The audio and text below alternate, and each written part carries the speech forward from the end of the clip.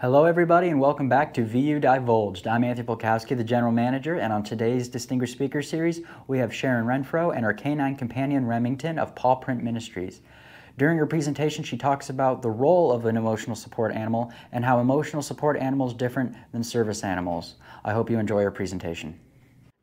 So I am Sharon. I am actually a first grade teacher in my day job. Remington is part of Paw Print Ministries. Uh, we are a comfort dog organization out of Central Illinois. We have about 43 trained handler teams that work in our community. We have dogs in Texas and on the East Coast as well, and we work around Central Illinois, so Peoria, Springfield, Champaign, Decatur, um, and some in Southern Illinois as well. So we are actually. I am just going to start with Remy. Remy six, I said that to you guys a little bit ago. He is the second of three dogs that I have trained in this program, and I have been training dogs for about 30 years. So, this program, when I came into it, I already had background knowledge in training and handling of dogs. My first dog in the program passed away, and I had the opportunity to get Remington from a program that breeds service dogs. Two of our other dogs in our program came from their breeding program, and we were given the opportunity to adopt from them. And so we went at eight weeks old and got Remington and brought him from North Carolina to Decatur. And he went straight into training at that point. And so he has not known any other life but this. Our dogs are loved, they are part of our families, but they are first and foremost working dogs in our program. This is what they are trained to do, this is what they do every day. So he is at school with me every day in my first grade classroom, and he pretty much does this. This is what his really hard life consists of we always say our dogs, their job is to make people smile. That's the easiest explanation of what a comfort dog is for. He loves treats, hates getting wet, and really likes to nap at my feet. Our program was started 10 years ago. This is actually our 10 year anniversary. Um, Jennifer Dawn is our founder, and she was trained through her through Lutheran Charities uh, for disaster response. And she did that for several years. Over the course of that time, she met comfort dogs while they were working. Um, dogs that were there specifically to work with first responders, but dogs also who could go into the shelters after disasters and work with the children and the families that were impacted. And during that time, she realized that there's a real need for that. There are not a lot of dogs that are well trained to do that job. Oftentimes, with comfort dogs, people have a pet that's really sweet, really compliant, and they can be certified pretty easily through some organizations to do that, to simply go and be a happy presence that makes people feel better. Because there's just something about a dog that makes everybody smile, right? Everybody who came and petted him, there was a smile on your face. And that's fantastic. That's what they're for. Our program, though, the decision was made at the very beginning that that wasn't good enough. Our dogs need to be able for us to be facility dogs, which means that we work in a courthouse, we work with forensic interviewing of children, we go into court with children who are testifying, we're present at um, recovery of bodies. We're present after disasters. We're present in schools after there's been a tragedy. So our dogs, when we tell them to do something, have to do it, and they have to do it immediately. So our program was founded on the principle that our dogs not only needed to be able to work and make people smile, but they needed to be obedient while they were doing it. So they are dogs, right? Sometimes they do things that dogs do, and that's just part of handling them and knowing how to recover from that if they do something and knowing the tools that we use to help them be successful in their jobs. So everybody asks frequently what a comfort dog is. This is just a really quick um, graphic. Therapy dog, comfort dog, interchangeable words. They are legally not allowed to be in a space in public unless they're invited. So we can go to a school, we can go to a university, but we have to be invited there. We do not have protection under the ADA, which is the American with Disability Act, because they are not service dogs. They are also not emotional support animals. Emotional support animals are trained to work with one person to, su- to support their mental health. That is not what a comfort dog does. A comfort dog is trained to work with me in a situation where people need that support. So those are those key differences between what we are and what a service dog and an emotional support dog is. In the community, we do lots of really fun visits. We go visit schools when it's reading hour. We go and visit community events like at the library and all of those really fun things. Nursing homes, veteran centers. Um, we also work, we have a dog that's a facility dog in a dental hospital, a dental office. Um, we work also the hard things. We work when there's been a tragedy, when there's been a disaster. So that's kind of our list of the things, and we will go into those a little bit more in detail here in a minute. So, in the year of 2023, we have 43 dogs working. We did 1,248 trainings and events. We had 9,618 volunteer hours. We are volunteers. Our board of directors are volunteers as well. Everybody does a regular job during the day, and then we do this in our free time. So we are a nonprofit organization run by volunteers. We track all of those hours for grants and funding purposes through any of that process. And so our contacts, 46,430 in the last year. So there are lots of organizations similar to ours. I kind of touched on that in the beginning. Um, those are some of the national ones, the different certifications that can be held. Um, there is in Indiana a really cool, we're social media friends. the dogs are with someone who uh, was an assistant coroner, I believe. Um, but their dog just recently retired and is no longer working in that office. I think they've moved on to a different office. And then we have in our community one other dog that works with a different organization, and he is part of the Peacemaker Project. Um, Chris Oberheim is an officer who was killed in the line of duty in our community, and part of that Peacemaker Project is they brought a dog that was trained in Florida at a service dog organization in to do the same thing our dogs do, just in a different organization, a different capacity. So in our program, I touched on that a little bit that for us, it was very important that when our dogs go someplace that people consistently give feedback that our dogs are well behaved. Ideally, our dogs should just sort of fade into the background unless you're the person that needs their assistance. So we focus on very, very high impact training. It takes about 18 to 24 months for a dog to complete the program to be invited to join that training, handlers and dogs are screened and temperament tested. A um, little bit of both for both. we, our joke always is, is that we're temperament testing the human just as much as we are the dog. We're looking for a dog who is eager to work, a dog who is friendly, a dog who isn't phased if we throw a pan on the floor and it makes a lot of noise. They're going to look at it and then they're going to turn back to their handler. Um, they can't run, they can't go towards it. They've got to kind of just be in the middle, be willing to ignore it. Um, we are looking for handlers who are calm even when they're in a situation that is stressful. Because if the handler is stressed out, they're not going to be able to do any good for the people that we're serving. We have three phases in our training. Each one has a list of defined tasks that the dogs have to do. Um, they get progressively harder. The beginning tasks are things as simple as when we ask the dog to sit, the dog stays in a sit until we tell them otherwise. And that's under distraction and under stress. So we might have a dog that stays in that phase of training for seven or eight months before they're ready to move on.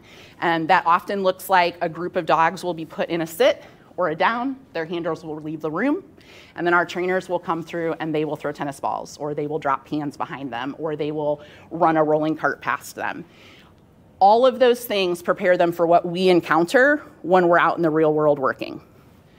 Not every dog completes it, and that's okay. Some of our dogs never get past to the final stages of training and certification. Doesn't mean that they're booted out, it just means they continue working. Some of those dogs who are at the secondary level of training are allowed to go out into the community with a mentor team. So we have a lot of mentor teams that work under us, and they're able to go as long as I am there and Remy is there to sort of guide them through any obstacles they get in, and also because I can say, it's time for your dog to go. Um, we just, it protects them, it protects the people that we work with we are expected to continue training even after they're certified. So Remy got certified at 18 months old. He made it through the program in 18 months, but we still at six years old continue training. We're expected to um, attend a certain number of trainings every month, and we're expected to work at a certain number of events, of events every month as well. Some of our dogs hold double certification in some of the other, um, like Alliance of Therapy Dogs, things like that, those international therapy dog organizations. And it's just another certification. Some of that has to do with insurance because our dogs are insured against any damage that they might cause when we're on a visit. And so ATD holds insurance on our dogs. We pay a fee through them. And so a lot of our dogs are double certified. So the training, the why. We put our dogs in intentionally stressful situations for them to learn two things. One, they need to learn that it's okay, the world isn't ending because something scary happened, but also because they need to learn that their default reaction should be if I don't know what just happened, I'm gonna look at my handler because my handler is gonna make it fine. So we will, you kind of see in our pictures, I've got two couple slides of pictures of them. They're on picnic tables, they're on swings that move, they're in a helicopter, they're, they're in strange costumes, which although they also make really cute photos to make people laugh, they, those experiences are valuable because it teaches the dogs that it's okay if it's weird. We also, through that training process, are looking for dogs that can regain their composure when we do something that makes them uncomfortable. Um, the dog in the pink tutu is my third dog. I said that he's my second of three. That is Charlie, his sister. She also lives with us. She came in actually as a rescue during COVID and never left. She was supposed to get some training and move on to a different home, and that did not happen. So, reasons that we train for the weird.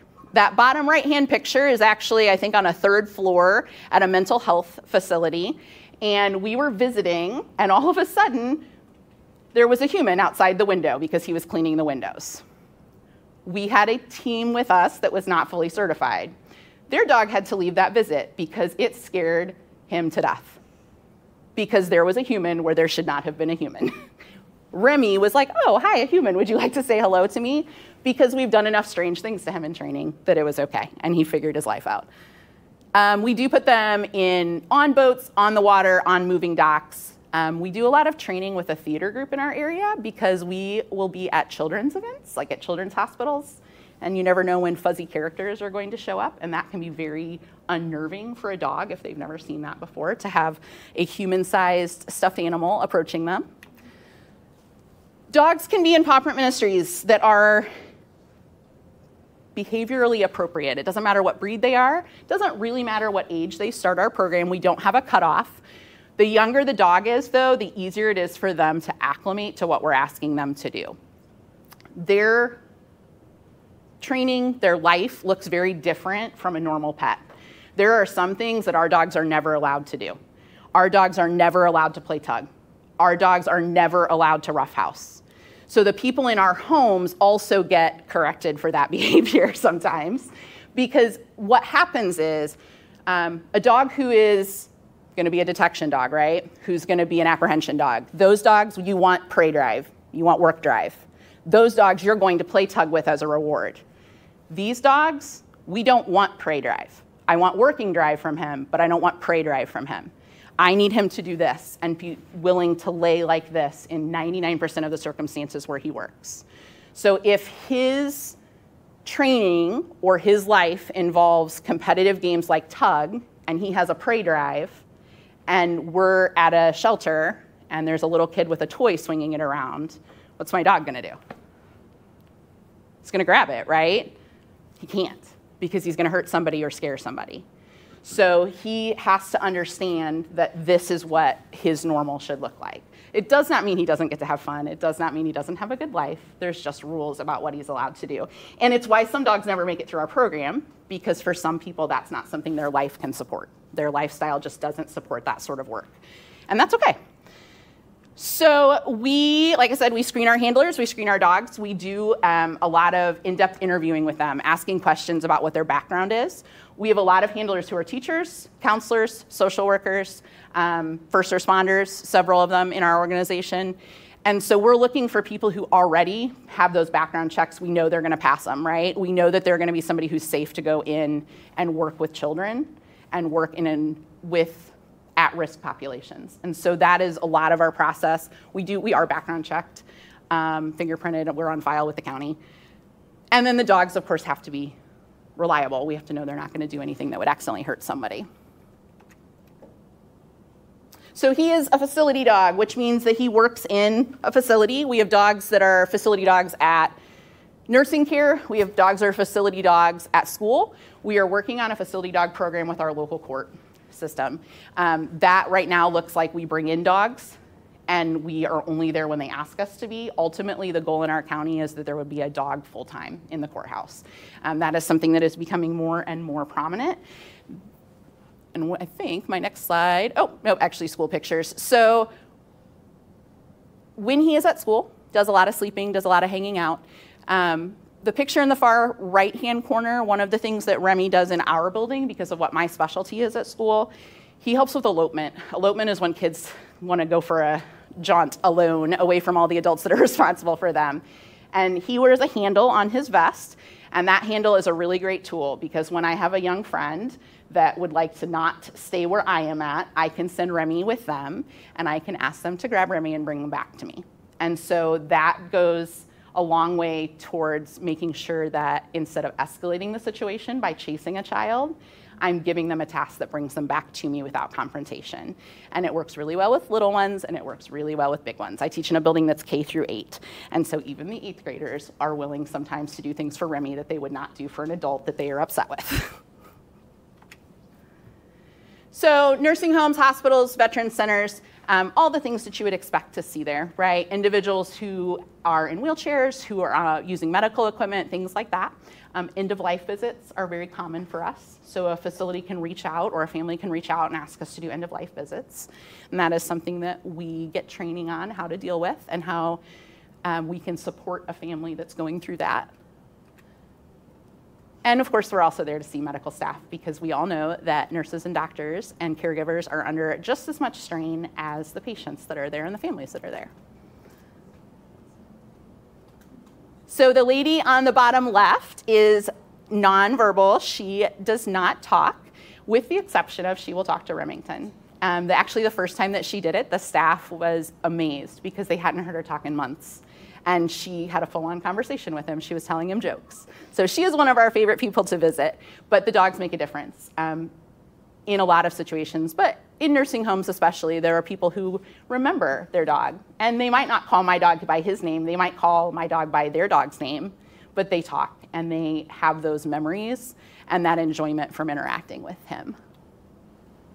And mostly they interact with the dogs, not with us a lot of times. Sometimes they'll talk with us, but usually they just want to pet the dog and talk dogs, which is fine. Comfort dogs in the court system. I said that our goal is to have a facility dog in that courtroom. This is Judge Little. He is retired now, but in uh, 2019, he attended a conference, and comfort dogs were just sort of becoming a thing that we were exploring here in the United States. They've been in Europe for a lot longer than we have acknowledged them as an asset here. Um, Judge Little was at a conference where there were several dogs that, from California that were already actively working in court, and he was super impressed by them. He was impressed by their training, their ability to just lay and be present in a meeting, although sometimes we lay in really inconvenient spots. Um, so he came back and he knew our organization existed. I was a volunteer with CASA, which is Court Appointed Advocacy for Children, and I was already familiar with him because of that work. He presides over our family court and drug court both. When he came back, we sort of started discussing what that might look like in our county. And in 2021, the Bar Association here finally said that it was something they would support. Um, they issued a statement uh, urging districts to participate in programs like this one. Um, they the second paragraph is their statement. Basically, they are legally neutral companions, and that research shows that although some people would think that they might bias a jury, that is not the case because they really don't see the dog. The dog is usually at the feet of the person testifying, and in most cases with kids, at least in our county, um, they're interviewed outside of the courtroom on video, right? Like you, they're not looking at the people; their voice is being heard. And so the dog can lay at their feet and nobody ever knows the dog is there. So our state's attorney has a partnership with us and we bring dogs in and out. Um, typically, the way it works is a family will be asked if they have a preference for a small dog or a big dog. We sort of assess a little bit do they have any fears? We do have a German Shepherd that works a lot at the courthouse for some families. That dog is a little bit scary. And so instead, the, that handler might come and trade out and take Remington or take one of our other Goldens or our Poodles, things like that. So we try and be sensitive to the needs of the family and the witness that's being interviewed. So we, like I said earlier, we work with forensic interviewers. Um, oftentimes that looks like us being outside of the interview room. And when they are done with the interview, they get time with the dog. Um, that took time in our community for that to be something that was okay and we had to go through some pretty extensive training because anytime you're involved in that you potentially could be called as a witness and there are things that you can and cannot say or do when there's when children are being forensically interviewed so um, behavior health program in our community the same thing. We partner with them. We come into their living facilities, we go into their group homes, we go to counseling groups, counseling sessions. Um, the domestic violence shelter that's in our community, we are present during their group therapy sessions and we can be requested at their one on one therapy sessions. Um, we can be requested when a new family is processing into that program. So, like if they have, if there's children, for instance, and maybe mom needs to be able to fill out paperwork and talk to the counselors, we might be put in a room with the kids. Again, we're all background checked and trained through their organization, and so then we become a safe adult that can stay with that child and distract them a little bit while the grown up is doing what they need to take care of. Remy's part of CASA. Um, we do a lot of events where it is specifically for children in care, and so camps, um, weekend events, that sort of thing, and we the dogs participate in those and are there um, present in counseling sessions, present just for fun, right? Because some of those kids have never met a dog that's actually friendly and they're afraid of dogs. And so this goes a long way towards helping them learn some of those skills that come along with understanding that animals can be fun. So, disasters, I talked about that a little bit, that the dogs can be either at the shelter where people are at afterwards. Most commonly, though, we are there for first responders. Um, we're going to be wherever their break area is, wherever it's safe for our dogs to be. And that depends on what has happened and it depends on whoever's in charge at that situation. Some of the people that we work alongside really want the dogs in a very central location to where their staff is working. Some of them prefer that we be stationed at a church farther out where people can come to us if they want us. And, and it is just we do whatever the person in charge of that disaster asks of us. And so a lot of our job is just to wait and be told where to go. We're one of the moving pieces when there's response teams. Tragedy deployments for us are anytime there is a death at a school, um, a death of an important community figure. Um, we, we are sent when there are retrievals um, after a drowning, things like that. We're sent to be with wherever the chaplain is at, is usually where we are in these situations. We are part of the crisis flight team in Macon County, and that is a team that is organized through Macon Piatt Special Education. And they put that team together post COVID to sort of organize how schools respond when there's been a tragedy. So before COVID in our communities, when something would happen, the school would handle it by itself. And you might see them reach out to a local pastor, or maybe they might call the school in the next town and say, hey, we could really use another set of hands. This crisis flight team has counselors, pastors, social workers, our teams, uh, teachers, psychologists, all sorts of people that are there and a resource that's ready. And so we have a Zoom prior to being deployed where we're given basic background on what has happened and they produce a statement that teachers can give to their students. So we help the teachers. How do you tell a six year old that their classmate has passed away, right? That's not something you deal with every day as a teacher.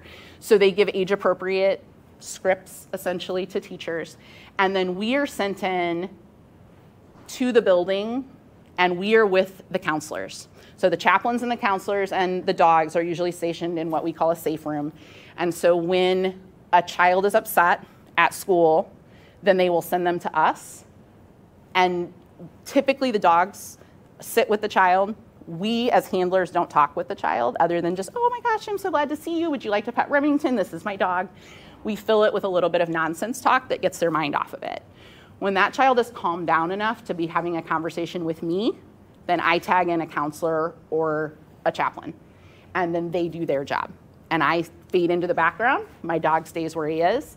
Um, busy hands usually make loose lips. And so if they're petting the dog and they're occupied, they are more willing to talk about what's wrong and process through it. And that goes from the tiniest little kids to the oldest football players on the high school football team. Um, last summer, we had a very bad car accident in a town near us, and several of the football players uh, did not survive the accident. The ones who did were airlifted out. Um, so we were immediately deployed out through this program. We were at the school. They opened the school that afternoon for people to come. we attended the funerals, we attended the visitations. Um, we were, during the visitations, we were split. We had some dogs in the visitation lines with people, and we had some dogs with the team and the coaches. And so we also attended the funerals, and then we went back. That happened when football season started, so like um, July or August. And then when the first day of school came, we were redeployed. When the first football game came, we were redeployed. So we follow sort of those schools. Along with that, there's business cards over there. The reason we have business cards is because when we go to events, whatever it might be, whether it's fun or whether it's something like the tragedy, we hand them out. Um, those get us. So that card, that social media, I run it. So a background checked handler is at the other end of those messaging systems. If it is a something easy, right, that I can handle like, "Oh, I'm so glad you checked in with me." If it's more than that and they're needing additional assistance, I can connect them with those services that they need. And so it is an opportunity for us to be able to give them a safe adult to reach out to.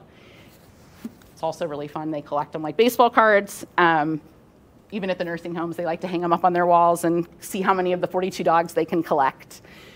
Um, oh, I would like to note that these pictures that you are seeing, they are used with permission from the people who are in them. The exception is, is that these pictures here, um, very few of any of the ones on the tragedy deployment pages are from real events. We do not take pictures at those. If we do, we take them outside like of the school. We might line the dogs up and take one and then say, you know, our organization is thinking about whatever school. These are all from training scenarios. So when we train, we train for these too.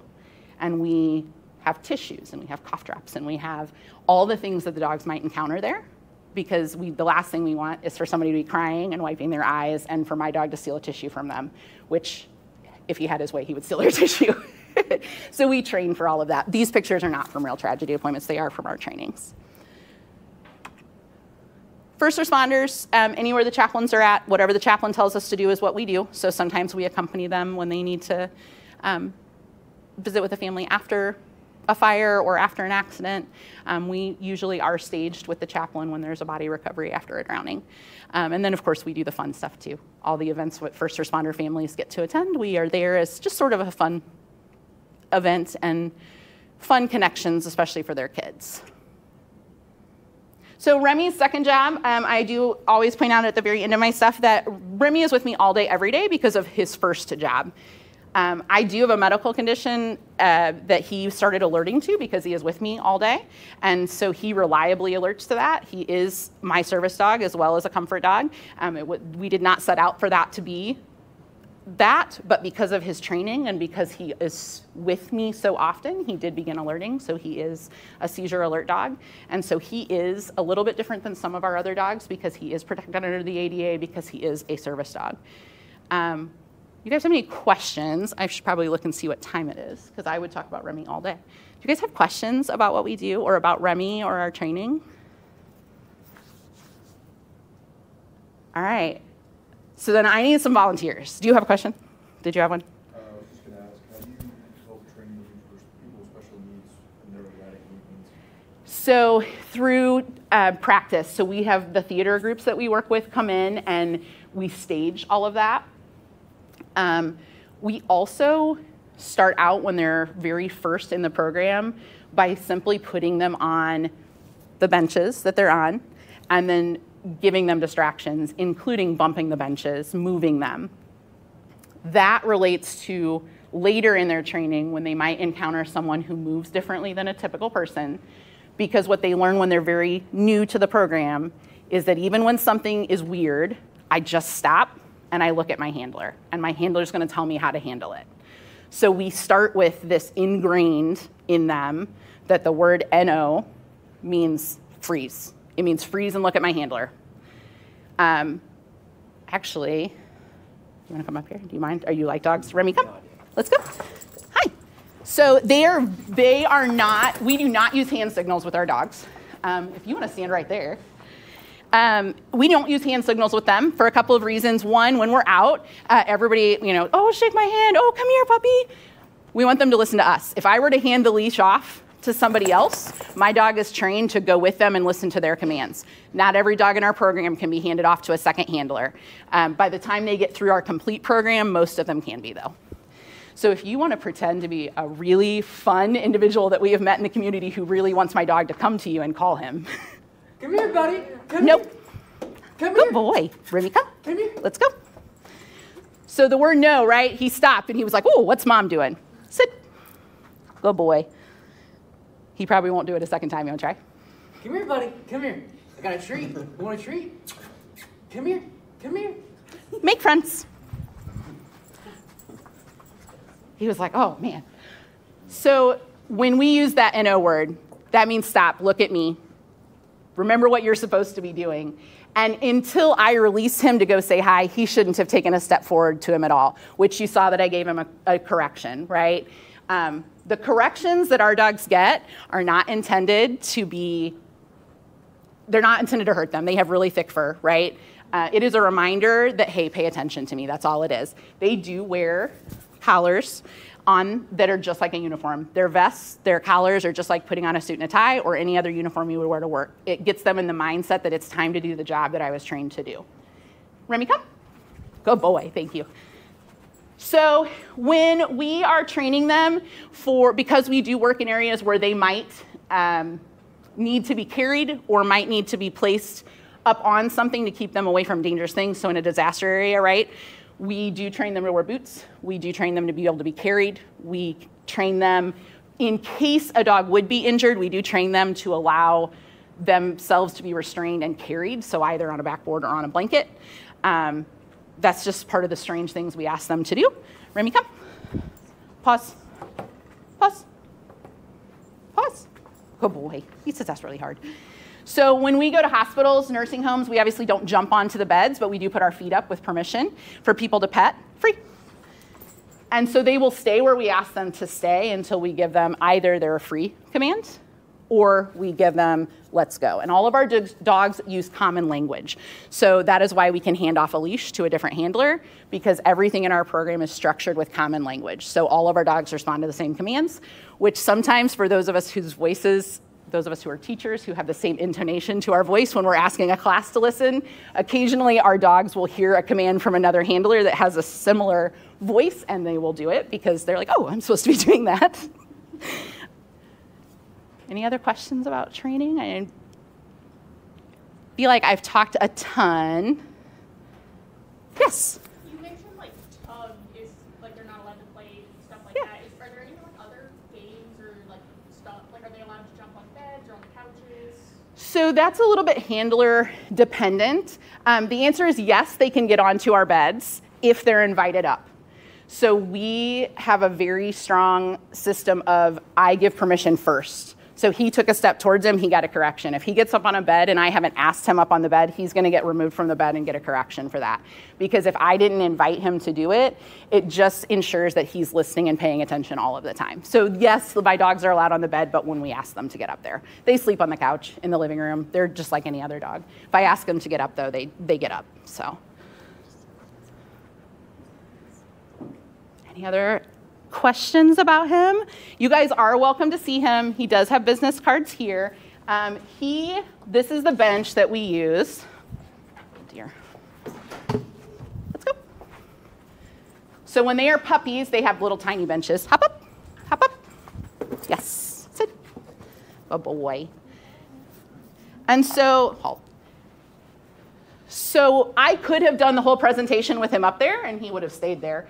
Um, he's six, and you know he's not a small dog, so I try not to make him do that. When he was a puppy, it was a lot easier. Remy, come. Good boy. Good boy. So this is something, like I said, I'm a volunteer for, and I'm super passionate about what we do with the dogs. Um, one of the biggest things for me is that he had to learn as a puppy that when I'm teaching, so our release word is free. But when I say free, it's with that tone of voice. What I learned very quickly, though, is when I praise my first graders and tell them, okay, we're done, it's with the same tone of voice that I use for free. So he had to learn to listen for the word, not my voice, not for my intonation. He had to listen for the word. And so he spent some time in training set up on a bench with me talking and me pacing and talking like I would to my students. And our trainer stood near him, and every time he started to make a move that showed us he was going to respond to something that wasn't his release, he was corrected. So he learned to be very observant of what my body and my voice, whether I'm paying attention to him and giving him a command or whether I'm talking to other people. Um, it was just a bad habit that we had developed because I talk with my hands and I talk a lot, and so he had to learn to, to listen to what I was saying. So, and all of our dogs that work in facilities have their own little quirky things that we have to work through too that are unique. Um, so our dental office that has the dog, they had to make sure that he understood some of the, the things that happen in their office that were unique for them. So. The courthouse is a little bit weird for our dogs. We do do trainings in the courthouse because it's marble floors. Marble floors are slippery, marble floors are reflective. So we do take the dogs in there from very young ages so that they can get used to it. Because um, the last thing we want is a dog to panic when they're supposed to be there supporting a, a victim during their testimony. So, and the, bank, the uh, witness box is really small. So for our big dogs, that can be a challenge. They have to learn how to tuck themselves underneath it. Um, they have to learn how to sit, you know, in the benches. We, they're like church pews um, in the courtroom for us. And so they have to learn how to sit underneath those quietly. And if they creak and people move or make noise or somebody gets loud or a bailiff has to remove somebody, our dogs have to have experience with all of that. So we do those things during our trainings so that the first time they see them isn't when they're in that situation. We do a lot of strange things in our trainings. We always like volunteers for them, though, because we like for people to come and be silly and ask them to do things they shouldn't do. Hi. All right. Yes. So obviously all the dogs are individual and not one size fits all, but on average, when they start the program to being ready to go out, uh, how many hours of, of training typically are you looking at? So 18 months to tw- 18 to 24 months, and we are training once, sometimes twice a week for at least an hour at a time in professional with a professional trainer in class settings. Outside of those class settings, we also are working with our dogs every single day for 10 minutes at a time, 10 times a day, right? So hours and hours and hours. You know, you add up. So he has he attends training still every single month, um, at least two usually, um, and then he's working every day. And so when we are working, it can be very easy if you're in a routine every day to let something slip. And so there might be a day where I decide we're going to really focus on me. If I ask you to, you know, sit next to me during this particular activity, that I'm going to really focus on that skill and correct it if he doesn't do it, just to tune up anything that's a bad habit. Thank you guys for letting me come talk to you today. On and the Program, we to present this certificate Aw, to you for you. coming and talking to our students. So Thank you. can everyone please give another round of applause?